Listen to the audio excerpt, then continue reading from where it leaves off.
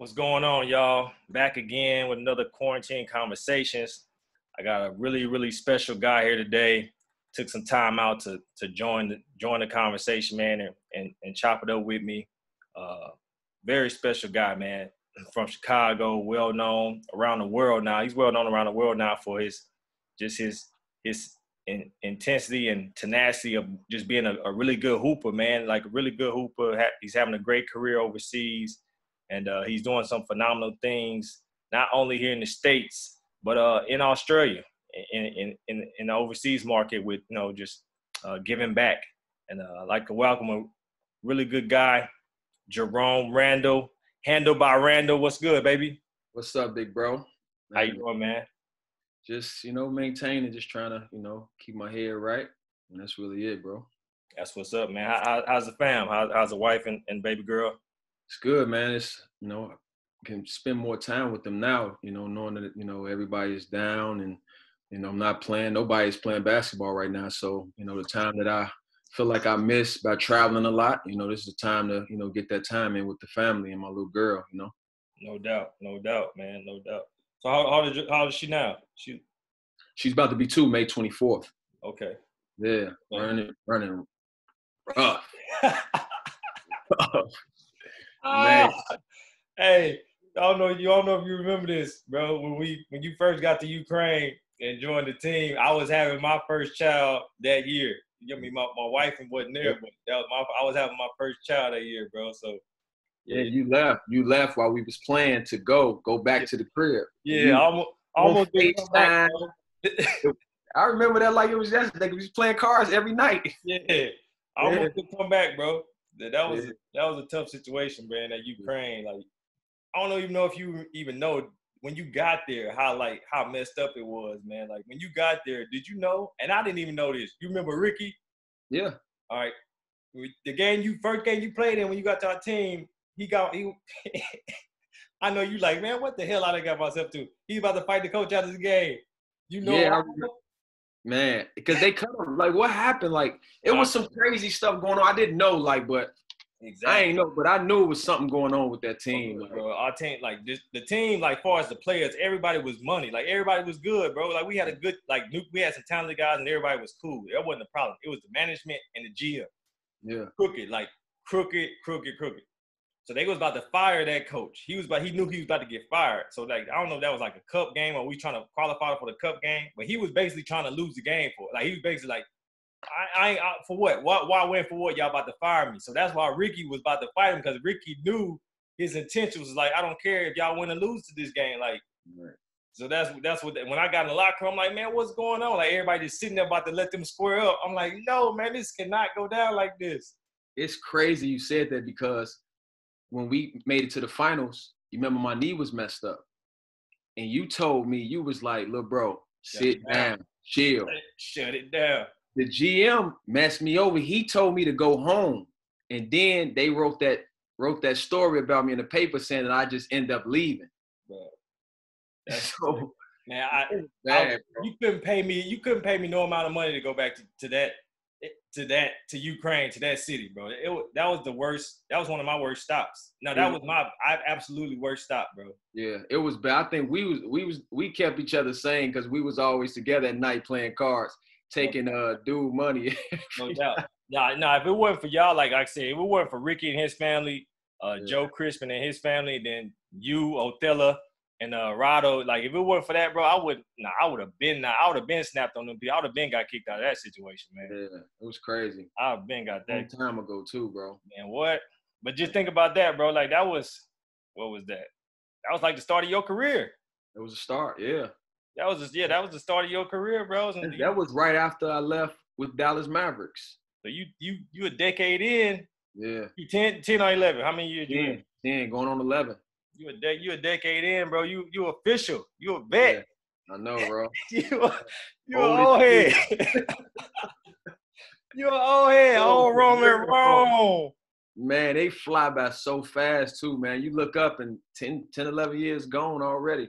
Man, Romy Rome, a vet, like a real vet, bro. Hey, yeah. congratulations though, man. Like, like I said, you done you done been through some stuff, man. Like a lot of people. And and you shared your story, uh, so enough people know, but a lot of people don't know, man. Just how good you really are, the circumstances that you done fought against, and you know, and you and you persevered, man. Like I said, you might not reach the highest plateau that you want, like you feel like you should be at, but like I think uh, just around the world, around the world, people who know Jerome Randle, players, hoopers, you know, coaches, teams, like they like this kid can, this this young man really can play. Like he he could be at the next level. Just you know, and you old enough now to understand it. Like it's all about situational and, the right fit, man. Like a lot of talented guys don't make it, and you from Chicago, so you've seen plenty of guys who who probably should have been in the league and yeah. and just didn't get that fair shake. Yeah, but you know, it, it, took some time, bro. Like, I mean, you have you. I was with you. You was my vet. You looked out for me. It took time for me to get to that mindset. You know what I'm saying? I was super bitter. Like, I was bitter, man, for years because just thinking like I supposed to be there and not really knowing what part I played in it.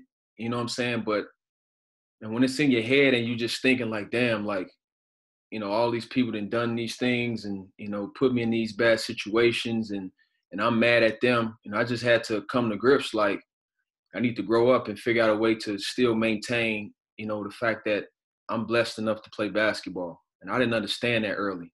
You right. know what I'm saying? Like if anything, I was being selfish, you know what I'm saying? Just not really appreciating the fact that I still was able to pick up a basketball and play, you know what I'm saying, and travel the world. So it took some time for me to get to that point, you know, but am I gonna say it was tough? It was difficult, bro. Like it you know, it took me to a really dark place, you know, because I knew what happened and, you know, people that you thought was there for you, you know, they had their own intentions and, you know, you got to live with those decisions, man. And it, you know, put me in a bad place, but I'm glad it happened because it made me look at things differently now that I'm older and I can help out, you know, the shorties. All right, so so I'm gonna put it in perspective for people who don't really know who you are. So Jerome Randle went to Cal, Cal Berkeley, Graduated. You graduated, right? Yeah, um, 2010. Yep. Okay, so grad four-year player, graduating 2010, was an All-American, uh, player of the year in the in the Pac. Was it was it was still the Pac-10 then, or was yep, it the Pac? Yep. Player of the year, man. Player of the year in a, in a very talented uh 2010 class that year. Like who? John Wall was in that. Them type of guys was in that. Was in no, that. Year? It was um. Yeah, when I got there, man, it was OJ, it was Isaiah Thomas, Darren Collison, um, Arron Afflalo was in there. Um, man, all, all, the PGs, Westbrook, Jrue Holiday. You name it, all pros. Like, yeah, this man was player of the year in a conference with all these guys he just named. Uh, Darren Collison, OJ Mayo at USC, Westbrook, uh, Arron Afflalo. Like all these guys was pros and had and had hell of careers in the NBA, and this guy was player of the year amongst those guys in college. So that's just a backstory of kind of what he's talking about is just, you know, feeling like he didn't get his fair shake. Uh, but man, no different than me though, man. Like I, I, was able to make it, but at the same time, my first couple of years in Europe, bro, I was on, like I was ready to let anybody have it because I, I, similar to you, man. I was like, bro, what? Why am I here? Like I don't like I'm I deserve. You know what I'm saying? Like I feel like I'm good enough and I should be. I should still be in the NBA. So it took me a while, man. So by the time we met up, like I had kind of, you know, matured and went through some stuff on my own. I was like, you know what? All right, this is where I'm at, bro. I, I got to make it work. Like you said, you know, I'm, I'm, still thankful to be making a lot of money playing basketball, even though it's not where I want to be. Like, I'm still able to take care of my family, you know, and, and it's living a good life. So, you know, I got to count my blessings, man, and, you know, make the best of it because, like you said, now you, you 10 years in, it goes fast, bro. Really fast, bro. really fast. fast. And it's crazy because, you know, I had to now take that mindset and focus, you know, on a young dude that probably dealt with something similar to what I was dealing with. You get what I'm saying? And I feel like that was a roller coaster for you. You know what I'm saying? Like you feeling this way, and then here I come, a young boy dealing with what I'm dealing with, and you helping me through this process because I was I was dealing with that shit coming to y'all. Like you get what I'm saying? Yeah, yeah. You know what I'm saying? And you was like every day, like on me, like you know what I'm saying? Like, yo, young fella, do your thing, like encouraging me, letting me know, talking to me. Like you always had that open door policy. I can come rap to you. Like, you know what I'm saying? I ain't know you. Like, you know what I'm saying? I just knew of you and saw you play. But like, you know what I'm saying? You never really know, you know, how people gonna be unless you meet them. So I do appreciate that because you definitely helped out a lot. Like, you know what I'm saying? Because that was early, like dark, dark stages, you know, for my career though. Yeah, man. No, it's all love. Like I said, I had had a conversation with uh with Marie Chapman. I don't know if you know what that is. Yeah. Uh, but we was talking about a similar situation, and I'm like, man, I've always been that way. You know, even even early on, I was like, man, if you my teammate, man, I got your back. I don't. I want to see you win because at the at the same time in Europe is definitely different because the more team success you have, the more uh, the more individual spotlight you can get just by being on a good team. Everybody, everybody gonna get their fair share. Everybody gonna get a chance to get paid, especially when your team is really good. So yeah. I've always been on that. Like, all right, man, I got this young fella coming in. Remember, I don't even know if you remember this. I was like, when that first game you came, mm-hmm. mind you, I was already off the like. I was my mind was already like, man, forget this season. I was already. But the first game you came, I was like, bro, do you like shoot all the balls if you want to? You remember that? I was like, man, I don't care. Like, yeah. I was like, bro, I shoot all the balls, bro. I, I I'm not tripping on that. Yeah. But yeah, I always been like that, bro. I always understood like, man, you gotta help the guys coming up. You know what I'm saying? Especially me, my transition was was difficult, man. I went from playing off the ball my whole career. Then I get to the league, and that's the knock on me, like, oh, he's not a point guard. Well, like, no, no, duh. Like, I never played point in my life, but I didn't have anybody there to really mold me and shape me and tell me how to do. You know what I'm saying? How to become a point guard. I didn't have that. I had like my guy Sam Cassell took care of me, but at the same time he was still playing and finishing her, his career. But I didn't have nobody really. I had to learn on the fly. When I got to Europe, I learned on the fly how to be a point guard and how to, you know what I'm saying, how to lead a team, lead a team in, in that way. Like I've always been a leader from a, off the ball standpoint, but I had to learn how to be a point guard and lead the team as the as the as the real as the point guard, you know, as the playmaker. So difficult, difficult job. And mind you, mind you, trying to do this at the professional level is difficult, bro. Like you got guys egos and you know what I'm saying, looking at me like, uh, you know, like whatever the case may be. You know how it is. Like everybody not everybody not welcoming and, yeah. you know what I'm saying, and on your overseas team. So, yeah. nah, man, I, I appreciate you. Uh, I just, man, just the guy that you were, just being able to soak that up and you know, and and willing to listen. You know what I'm saying? Like I said, I can only give you the information. It's up to you to take it and use it how you want it. You know how you want to use it. And and, and you was you was humble about it and you was open. You know what I'm saying? You, like you said, you didn't have to. We didn't know each other. You was open about like, look, man, I'm going through this. Like, bro, like, and I was, you know, I was able to share whatever I whatever I share with you, just to try to help you try to help you get through it because I, I, understood it, bro. It's it's tough. It's tough when you. It's yeah. tough, especially just knowing, like I said, knowing your situation. You didn't you didn't get a chance to taste it. I got a chance to taste it. Yeah. And then seeing your game, your work ethic, like people don't, a lot of people don't even know. Like man, you one of the hardest workers I've seen. Like yeah. at any at any level for any team, like, like you want you one of the hardest workers, dude, man. And one, being your size, you've always probably had that. You know, you've had to have that, had to have that. You know what I'm saying? That mentality and that extra, like, you know, like, I'm small, you know, people gonna look me over because I'm small, so I gotta go a little extra harder. Yeah. So can you just talk a little bit about that because you're going through something now, man. You you like you said you're in your tenth year. You just had an ACL injury. Uh, talk about you know just that process. Yeah. Um. Well, yeah. I always basically had a chip on my shoulder. I mean, knowing you know where I come from, South Side Chicago. You know, uh, mom. You know, five kids, single mother you know so i just didn't really want to be a statistic like i knew what i wanted. I seen like friends you know getting killed. I seen cousins going to jail and i'm just like man i can't you know so i tried like getting in trouble early. It just got to a point i'm like man i need to figure out what i want to do like so I, I made a decision like yo this is you know my mom supported that like she made sure that she wasn't she wasn't letting me give up like you know what i'm saying? So just got to a point where i focus on what i wanted you know what I'm saying? Like people telling you like you can't do something. That's the you know the normal story for a young five nine you know guard. You hearing everybody saying you can't do something. So I just took that shit as motivation, bro.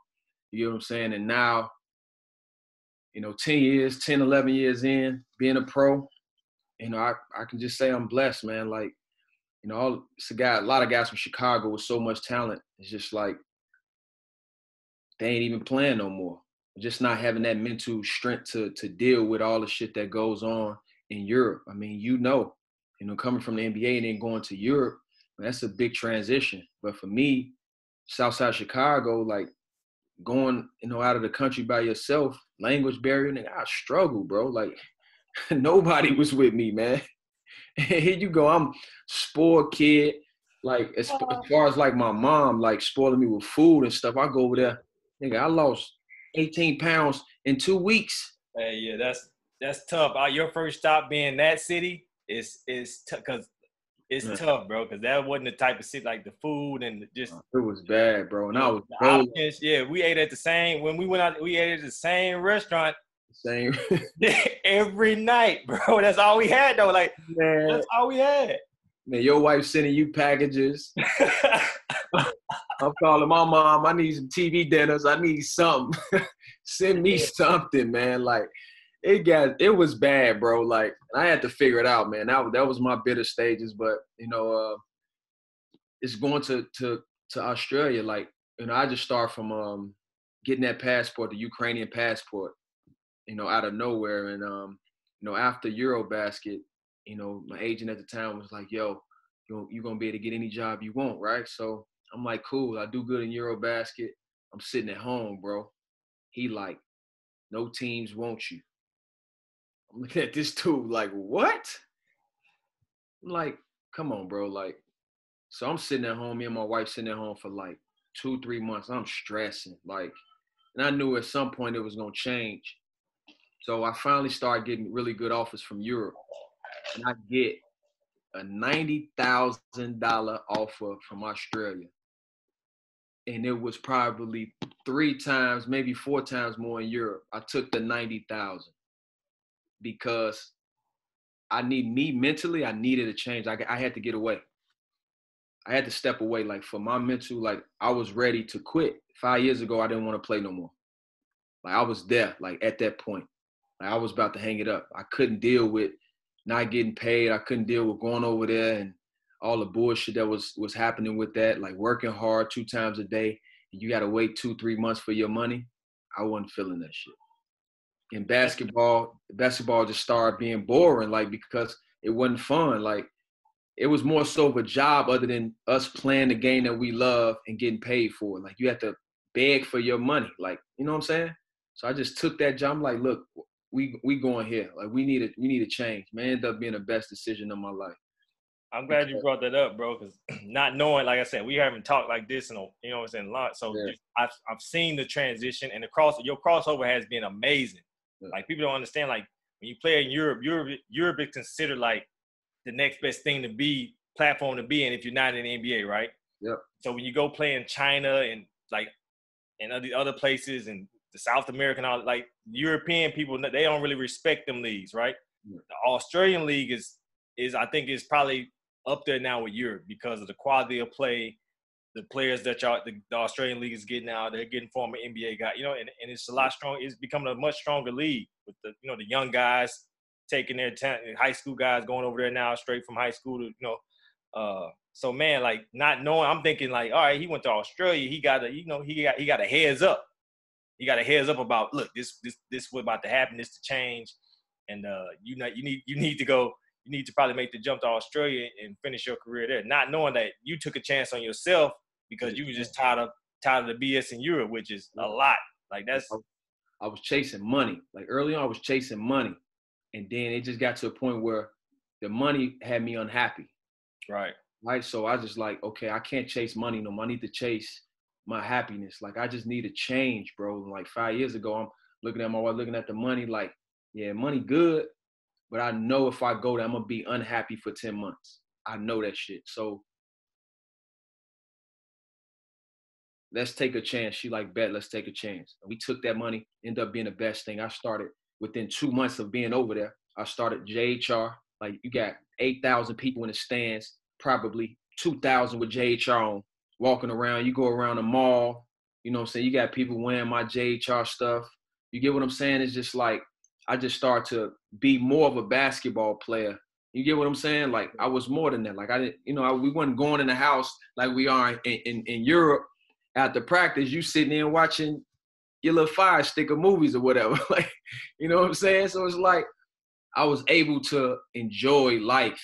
You get what I'm saying? And I never, I, I didn't turn back after that. You know what I'm saying? It ended up just being the best thing. And, you know, that my, you know, my brand is is growing. So now I'm just trying to learn the business side of, of everything. Like no one taught me that growing up. You get what I'm saying? So it was just more authentic, you know, just getting your clientele and getting people. So now I'm more trying to learn the business side, like trying to surround myself, you know, around people that understand business and you know how to put certain things together. Why am I doing this? It's a reason why I want to do it.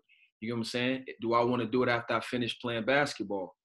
You know, so those are type of things that I'm focused on right now, just trying to see, you know, what area I'm gonna, you know, lean towards once I, you know, hang up the shoes. So, and I feel like I have a pretty good idea of what I want to do, and that's help help kids and train and just be a part of the game. So yeah, so man, so yeah, talk a little bit more about how you actually how that actually came about. Like your whole like you got you was doing you doing clinics in Australia, camps, like you had a whole like you got a whole bunch going on, like which is not normal for a guy overseas while he playing. Like, you know what I'm saying? You had a you got a whole bunch of good, like this not like not just anything going on. You got a whole bunch of really good stuff going on during your season while you over there in Australia. Let's talk about kind of how that came about it happened like crazy. Like didn't even supposed to happen. Uh, after the games, they do this thing where you walk around the court and you sign autographs after the game. So, you know, I, I once I got there, like I, I won over the crowd. I won over the city like the first game. So, you know, they they weren't even getting half the stands filled. So two, three games, they started selling out. So kids and everybody started coming out. And I see kids crying, literally crying because they couldn't get an autograph. They put a time up. So I'm like, let me go and create a fan page. You know, thousands of people out of nowhere within two days. You know, you know, join my you know Facebook fan page. So I say, yo, I'm gonna be down at the beach because I live on the beach um, around two o'clock on a Sunday. You know, if you guys can get autographs, you can come down. Man, like 200 fucking people showed up. Listen to me, like 200 people showed up. You by so yourself? We, down on the beach, like I had to call up people. They brought a rim down, like the, the team, like they were so supportive. I'm like, this can't be basketball. Like, I'm like, this can't be for real. Right. And I'm just down there just dribbling, just playing around and just having a good time. And I'm like, man, and just thinking about the lady when I was a kid, you know, she helped me. Like my first basketball coach was a woman she's like 70 right now, and she's the toughest coach I ever had in my life. So she was the one who inspired me to, you know, help because of what she did for me. You know, when I was a kid living in the church and all that shit. You get what I'm saying? So I'm like, you know what? Let me start training kids. They parents just start asking, "Do you train?" I'm like, "Yeah, I can." Man, I did a camp. It was 115 kids showed up. First camp.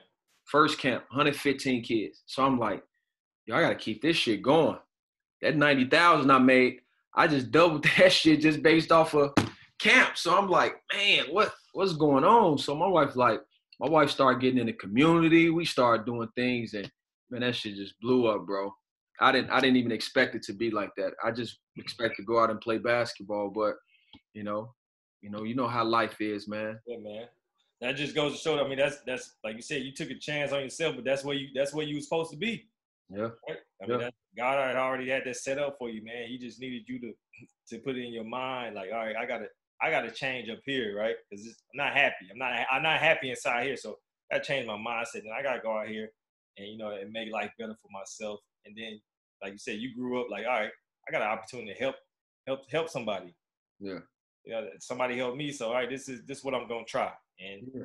but you made the comment like about the NBA, and you was like, you know, I was pissed because this is where I'm supposed to be, but I start asking myself the question like, am I supposed to be there? Right, right, right, right. I mean, the reason why I'm saying it now because of what you just said, like that's where I'm supposed to be. So, you know, God put you in these situations. So that's what I started saying to myself, like, would I be doing what I'm doing now had I made the NBA? Probably right. not. Right. You know, how valuable would I have been to the youth or the community if I was in the NBA. Like, so I start thinking like that. And once I start thinking like that, I never even thought about the NBA again. But in my mind, I know for sure that my talent is NBA talent. But I'm not bitter about it no more. I'm not upset about it no more. I'm very excited that my life is what it is right now and that I'm making a change no matter what. Man, that's and that's good to hear, man. Like I said, that's just a part of growth, man. Growth and maturity. Like you older now, you understand stuff differently now. You got your you got a family and, and, and wife of your own. So of course, man, over time, man, you've had a chance to heal and grow and, and see and experience things that's that's done helped you matured throughout the years. So man, so salute to you on that, man. Like it's like I said, it's tough, man. It's like people people don't understand how tough it is to play in Europe. They just think that you know they just think that a lot of guys go over there and and, and making a good money and you know coming back looking like they living well or whatever the case may be. But them nine ten months, man, can be some of the worst nine ten months of your life, bro. You know what I'm saying? Like you said, you wasn't happy at all. Like it's a lot of it's a lot of players, bro, going over there and making a good living, but probably miserable. Like man, like Shit.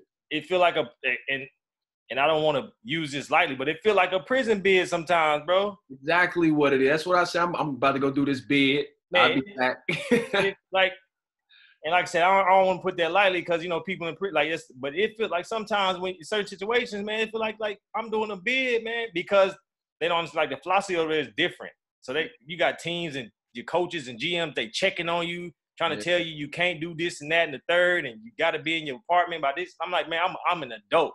I'm a grown man. I'm an Nobody adult, Tell me I can't go get Yeah. no food at 10 o'clock at night. Like what? Yeah, like so, so yeah, that's crazy, man. But like I said, it's good, man. I like I'm happy and proud of you, bro, to see you doing what you're doing. Like I said, you've made a hell of a cross, a, a crossover from playing in Europe. Now you're doing the Australia thing. The Australia thing is is becoming a, a bigger and more popular league, and and it's becoming and it's respected. It's not becoming. It's it's a well respected league, and there's a lot of good players over there, man. Like I said, you got your JHR handed by Randle. You, your brand, everything is, is blowing up, man. You, you know you you you live out on the West Coast now. Talk, Yeah. how, how did that happen? Let's let's talk about it. how did how did that happen? always, I mean, I always love the West Coast. You get what- I'm in Chicago right now, but I always love the West Coast I'm- from Cal. went to Cal. You went to Cal. Yeah. So- You know, but uh, as far as like LA area, I'm in Irvine. You know, my agent at you know my agent I have right now, he was out there, so he lived out there, and he was like, man, just come out here for the summer and train. I'm like, cool. Chicago went down as far as like everybody started leaving Chicago. Braun, all of them used to come to Chicago and train and work out. Nobody, nobody, everybody stopped coming. So in LA now. in LA. You get what I'm saying? So I'm like, man, let me get up out of here. I go out there for the summer. Me and my wife loved it, bro. Like, met my guy J Law, and you know, it was just, you know, he started teaching me, you know, how to train, and so I just start you know, being surrounded by people to help me, you know, what I'm saying strengthen, you know, the things that I wanted to do. Like, so I'm Right. like, damn, like everything like falling in place. So I, I kind of knew like I, what I was leaning towards or what God was putting in place for me to, you know I'm saying, to do. So I just listened to the signs, bro, and I just, you know, I loved it. I love it. And um, you know, it's a good place to raise raise my my daughter. So I'm cool with that. Man, that's yeah, that's that's what's up, man. Like I, I don't I used to tell people, man, I don't know how people when I was out in LA, people be like, man, I don't really like LA. I'm like, bro, something wrong with you. If you hmm. if you don't like if you don't if you ever really been in Los Angeles and you don't like LA, like something something's not right with you because it's not nothing to not like. Like Yeah. waking up to the sunshine every day is nice. Like it really never rains and something like you know what I'm saying? Like mm-hmm. it's nice all the time. How can you not be in a good mood and have positivity? You know what I'm saying? Like being in LA, like it's It's tough. It's tough for people to, you know, but shit, I love it. I mean, I'm gonna keep enjoying it as long as I'm here, man. Just you know, dealing with the ACL injury, just trying to keep my my mind right, man. So yeah, man. Before we get off here, talk a little bit about that, man. You just suffered tore your ACL this past season. Cut your season. Well, season's gonna get, but cut the season short for you prematurely. Talk a bit about how that's been for you, man. Just being older, dealing with that, fighting through that, the coronavirus, kind of, you know, trying to fight, you know, figure out. Has it been hard trying to figure out, you know, initially? I know you got your routine now, but initially, like when it's first, you got back to the states and the coronavirus hit, like, was that difficult trying to trying to continue your therapy? Well, the, the most difficult thing is when it happened. I didn't know what to expect. Like I've never been injured. Like, you know, that time when I got when I was injured with y'all, like I didn't have surgery. You get what I'm saying? Like two two months after that, I was doing therapy, never had surgery, and I played, you know, summer league for the Clippers. So I never had a major injury to keep me out. So when it happened, I'm like, like, damn, this shit is over with. Like, I don't know if I'm be able to come back. Those are the thoughts that was coming through my mind. And it's crazy that it happened, bro, because Australia was a bad year. Like it was so much stuff going on with the, you know, with the team that I was on and the coach. It, it was probably one of the worst mental years I ever had in my life. Like it was that bad. And that's this me going back to the first team that I was on, you know, you know, uh, right. when I got to Australia. And right. after I won MVP, you know, the coach basically just was hating on me and dogged me. It's a brother. You know, from from from the states. Yeah, yeah, yeah. You know, he saw like what we was just talking about, bro. Like he saw how big I was getting in that city. You know, for me to win MVP and all that, like I don't come back the next year, like, you know, all this negative and lying, people saying I was asked for all this money. It wasn't true. So to make a long story short, it got real bad this year. Like, you get what I'm saying? So there was a lot of things happen at the end of the year, and then I get hurt. So I'm like, in my mind, I'm like, damn, did I do something wrong? Like, is God punishing me because like I don't know, like I don't know what the hell to expect right now. Like, you know, I thought I was doing the right thing. I went there with a different type of mindset. Then I get injured. And man, how I got injured was so damn it was crazy, bro. I slipped on a damn decal sticker. It was it was man, I'm like I'm hey, like it's not, oh, it's not funny, but that's Europe, bro. I know, like Europe. I know you ain't laughing because I'm just saying, like, out of all the things, like I slip on a fucking decal sticker. Man, you're for you though. Them decal stickers will be everywhere. Listen, to I was so hot. I'm like, it's over. I'm like, this shit is over with. And uh the most difficult thing is in my mind after that, I'm like, nah, I ain't, no, nah, I ain't tell my ACL. I, am cool. I'm cool. I'm fucking little shit here and there. I'll be straight. Go to the doctor. They say you tore your ACL. The doctor was like, the injury that you have you broke your leg, like for sure. And peep this, after the injury, they take me in the back. They like, do this, do that. This motherfucker went to the back and get a long ass needle, bro. And he was about to shoot me in the knee and tell me go back out there and play. I'm like, yo, what's that behind your back? He say, uh, no, no, no, it's, it's okay. I say, no, the fuck, it ain't okay. Like, you're not about to. I say, who you think you playing with, bro? Yo, Yo. Me, hey, Ewan, my oh. man goes in the back and get a needle this long. I just hyperextended my knee bad. This man, like, you go do this. He's like, oh, strong. This man say, no, it's okay. It's okay. I say, no, the fuck, it ain't okay. I say, I say, nigga, you was not about to stick me with that. Yo. I say, man, you got me messed up, bro. Like, I can't, nah, I can't go, bro man, it's it was crazy. So once the doctor said ACL, I broke down. I broke down. And I ain't gonna lie, I broke down and um had to stay in the hospital for a little while and um I had to gather my thoughts. Like I had to try to switch switch my mindset up because if I stayed in that funk then I wouldn't be able to make the progress that I'm making right now. So I just kind of reversed it and was like, people gonna be I'm gonna be way more dangerous. Like it's it, it's scarier that I got the time to like really take time and just rest and and work on my body and shit. So I'm I'm taking that mindset like the motherfucker's like really in trouble because I can actually sit down and think. Like you know what I'm saying? I never in 10, 11 years I've been just on the move, just playing and shit like that. Then this coronavirus happened, so I'm like, thank God. Like, you know what I'm saying? I'm, I'm not thank God is the people dying. Like this shit fucked up. But for me, it's like, it's cool. Ain't nobody playing basketball anyway. You get what I'm saying? Right, right. Being right. in Chicago, I got close friends with private practices. So I'm good. You know, I go in there by myself.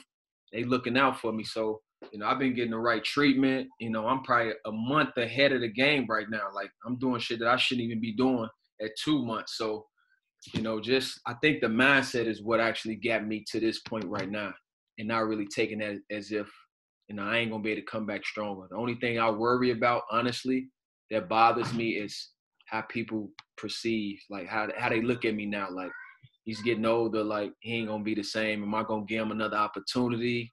That's the only thing I worry about. Other than getting back healthy, I ain't worried about that shit. Well, I mean, you know what I'm saying? You can't control that because that's gonna happen because it's Europe and I don't know for whatever reason they think once you hit 30, like your game supposed to go like this, like them Europeans. Like, nah, bro. Like, you know what I'm saying? Like yeah, yeah, we way different. Like I still, you know what I'm saying? Like, even for me, right? I still was playing at a pretty high level, but like like it was like every everybody that was kind of interested was like, oh well, he's a year older, and like, bro, I just had a hell of a season the year before. You know what I'm yeah. saying? Like, what what is the year older? Like, until I'm not producing, then that's when you should be worried. But if I'm still producing, then you shouldn't be worried about how old I am. Uh, yeah. So, but my point is that to you, man, like just you only control what you can control. You know what I'm saying? Like people gonna think what they think, and you deal with this your whole life. You know, they gonna say what they say. You know, but you know, you know, once you get that opportunity, you're gonna be ready and, and do what you got to do, like you've always done. I can't but, wait. Man, yeah, but yeah, I, I am glad I'm at. You know what's crazy, Rome? I, I I saw on your profile Wikipedia, bro. I'm kind of mad about it. Your your only ch- well your only chip in Europe was against me, bro. yeah. yo, hey, hey, yo, I gotta tell you, I'm like, you don't understand. When I found out you was over there, right? This true story. I was nervous as shit. You hear me? Because you used to abuse me in practice, dog. So I'm like, so once I found out we playing um, playing you in the finals, I'm like, I tell my wife, I'm like, babe, D Ewing is a fucking beast. so she like, it's true, nigga. She tell me the story. I'm like, I ain't never really been nervous like to play, especially like that was like some big time basketball. Like that was some big time shit. And y'all was hooping. Y'all just beat the team we supposed to play in the finals. Right, right, right. You know what I'm saying? And you hooping, so I'm like, I'm like, I gotta get my shit right. Cause he gonna fucking come and abuse me. So I just started thinking about how he used to abuse me when I was a shorty. I'm like, I can't let this motherfucker abuse me like that. So Bro. I was so locked in, bro. Like I wanted that so bad, bro. I wanted hey, so bad. Yeah, you was on. Hey, you was on point too. My whole thing was like, man, how I'm gonna keep up with this little nigga? I'm like, this I gotta keep up with Rome, and I know I'm like, I'm the only person on my team who can do it. I'm like, bro, I'm too old for this, man. I ain't got, I ain't got time. And then y'all had other people. I'm like, bro, I ain't got time to be worried about Rome. And then somebody else got. I'm like, bro, we we just ain't. I mean, y'all was a better team. Y'all had way more talent. Y'all was too. Y'all was too big for us. And like I said, we had got worn out. We didn't really have a chance. We had got worn out in the semifinals, going five yeah. games. With but what helped me is the coach was like, push that shit. Like, I want you to be you. Like, so he allowed me to just play. Like, actually, the, my teammates went to him. True story. Before the uh, playoffs was like, if you want to win the finals, you need to let Jerome play his game. Because throughout the year, he wasn't letting me play. And that was the best experience I ever had in Europe. That they, man, they accepted me like here you go, and you know everybody that was on that team. Them niggas was millionaires. They was all paid, bro, and no egos. Not a one, bro. How was it playing for Jasikevičius, man? How how is he as a coach? He a good coach, but he he crazy. Like but, no, he like nuts. But he's like very easy to play for because you know exactly what you need to do, what you know what he wants you to do in the game it was just like I don't know, the game just came so easy. Like his structure and how he put the game together, man, that was the easiest I've ever played basketball, bro. I mean, he was, I mean, he was and is a legend, especially in Europe. Like I played against him. He was little, he was kind of like, kind of like when you played against me. He was kind of older when I played against him in Europe. But I, I, mean, he was in the league when I was in the league also. Yeah. Uh, so I mean, like I always had respect for his game. Like he, he definitely wanted to like he was cold blooded during his prime years, man. He was cold blooded. So man, yeah. that's interesting to yeah. see that you know him him becoming the coach and you saying that you know he he know his stuff and and he made the game easy for you, man. Yeah, bro. But Ron, bro, it's good hearing from you, man. Know you got some stuff to do. I appreciate you taking time out to chop it up with me, man. Man, it's always a pleasure, man. Good to holler at you, man. Talk to you, bro. For sure, man. Godspeed to you on, on your recovery, man. Continue to get better, man and uh, look forward to seeing what else you got coming for the rest of your career, bro. I appreciate that, bro. All right, man. Yep. Yeah, take care, bro. You too.